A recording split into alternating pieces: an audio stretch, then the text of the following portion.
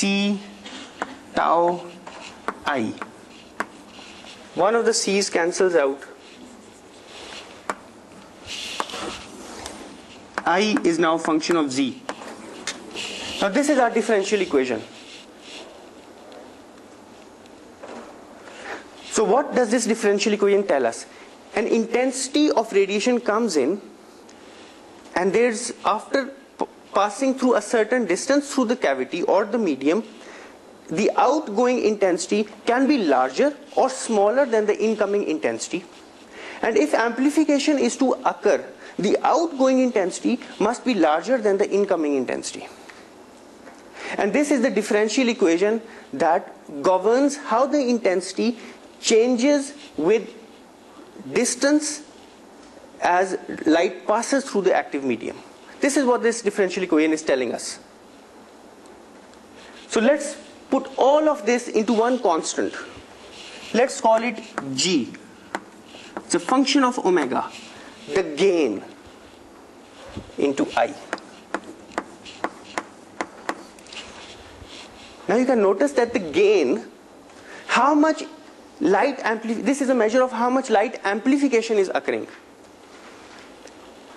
If this is positive, if this is positive, amplification occurs. If this is positive, amplification occurs. And G, as you can see, depends upon the population difference. Higher the population inversion, higher will be the gain. And if you solve this equation, which is trivial,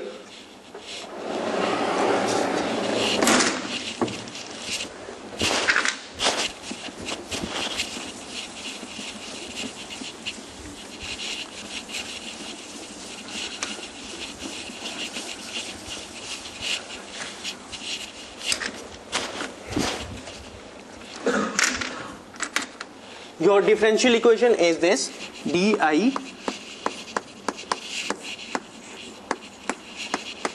g omega iz you solve this what do you get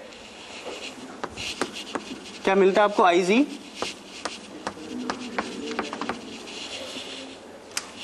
sum I naught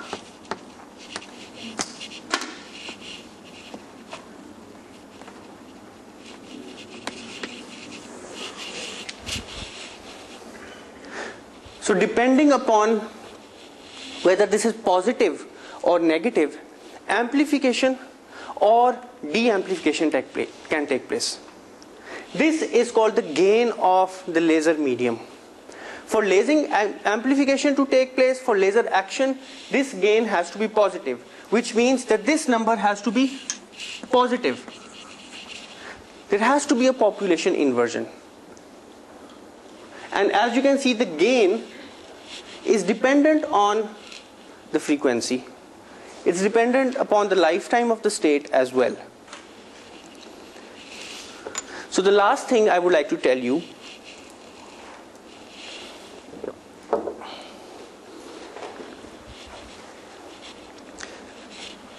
how to sustain laser action.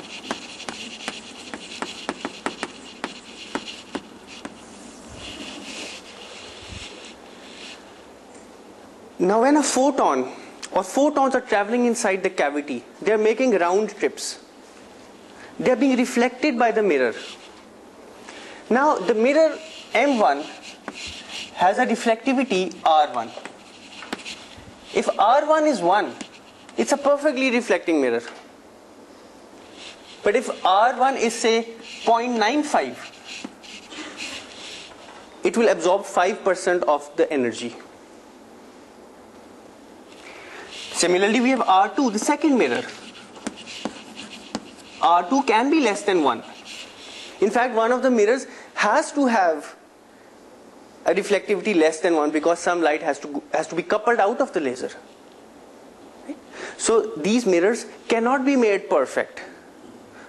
Even though nowadays technology has advanced to such an extent that you can have almost perfect mirrors, but still at least one of the mirrors has to be have a reflectivity less than 1 so some light can go out. And we also know that the lasing cavity or the laser amplifier contains a medium. It has some absorption at a particular wavelength.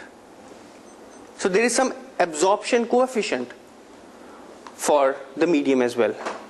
So there are different kinds of losses.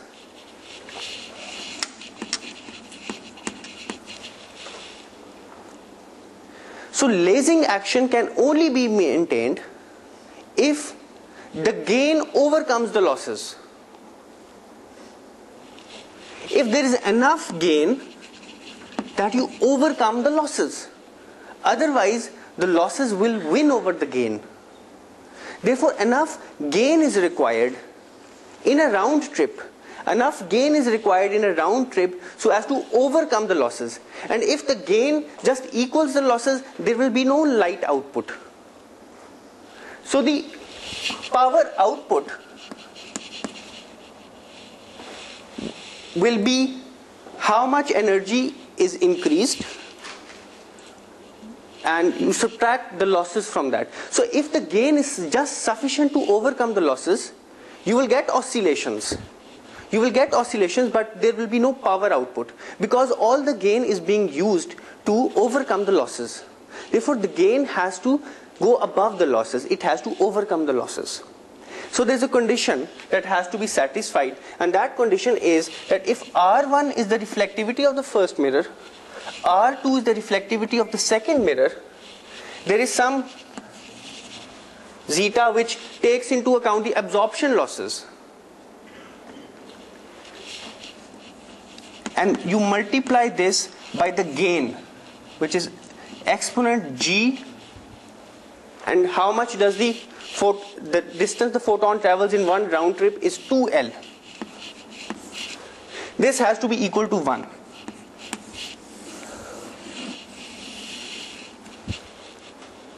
So this is the condition for sustaining laser operation. If this condition is satisfied, if this condition is satisfied such that this product is greater than 1, you will get an output beam. If this product is less than 1, the losses will dominate over the gain. This is an amplification term. ठीक है ये amplification term है one से बिगर है ये जाहिर है one से बिगर होगी ये और ये सब वन से स्मॉलर है point nine five point nine three point nine two point nine और ये भी वन से छोटा है so these are all losses The losses are lumped into these terms and this is the gain. So for lasing operation, the gain has to cross a certain threshold. The gain has to cross a certain threshold before lasing can begin. So the last curve I would make today is ये बात समझ आ गई आपको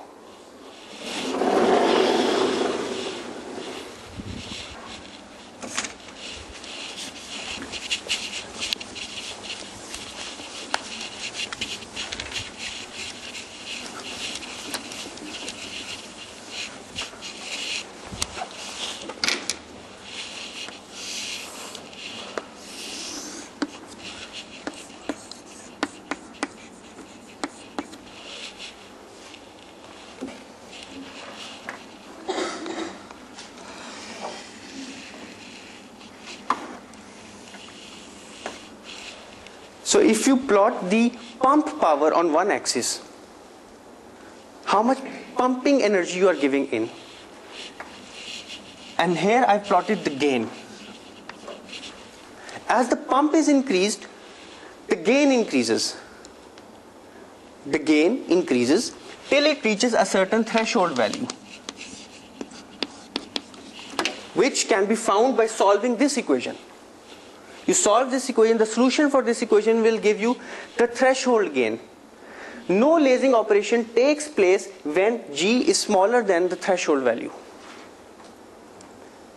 Because enough population inversion has not been achieved to sustain laser operation. Or in other words, in this region, in this region, the losses overcome the gain.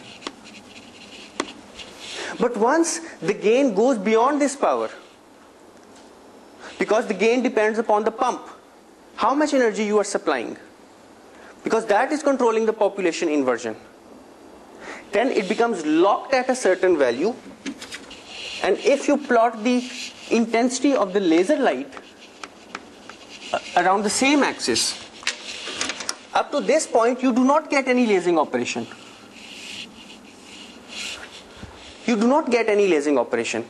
Only after the threshold gain has been achieved, which has overcome the losses inside the cavity, you get an output light intensity, which is laser light. So this is how the intensity of laser light varies with the pump, and this is how the gain varies with the pump. In this region, delta n becomes locked. It does not change. The population inversion that has been achieved remains what it is. It cannot go beyond that because if you want to increase the population inversion, the stimulated emission will increase. And the stimulated emission is in fact the laser operation. So any extra pumping energy is giving you the output light. It's not changing the population inversion. So this is the general scheme of how a laser works. So in our next lecture, which will take place on Thursday at the same time, we will discuss the characteristics of laser light. Why is the laser monochromatic? What is the coherence of laser light? And what are the different kinds of lasers? So thank you very much for coming and I hope to see you again on Thursday.